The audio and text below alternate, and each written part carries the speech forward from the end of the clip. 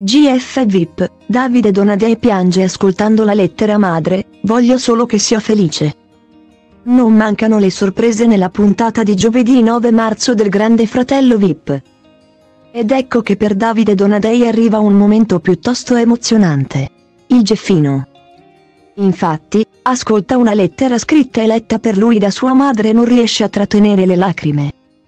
Lo ha raccontato più volte anche in trasmissione, Davide Donadei ha un rapporto simbiotico con sua madre.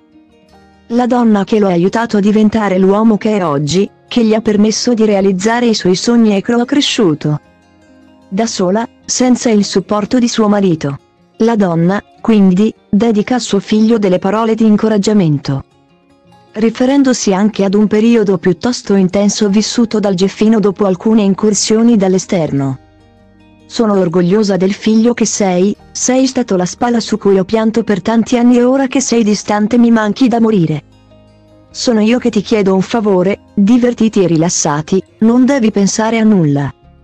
So che da fuori arrivano messaggi che ti fanno perdere la pazienza, lasciali perdere il fuoco di paglia. Io e Danilo tu vogliamo bene.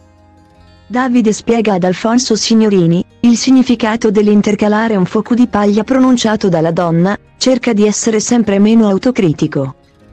Mi devo far scivolare le cose addosso, a volte sono anche troppo responsabile.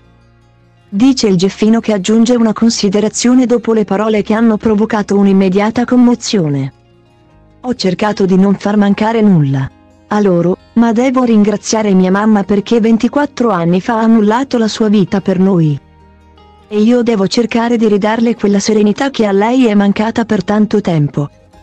Io ogni giorno pranzo con lei, anche se ho il ristorante, anche casa mia l'ho presa vicino la sua.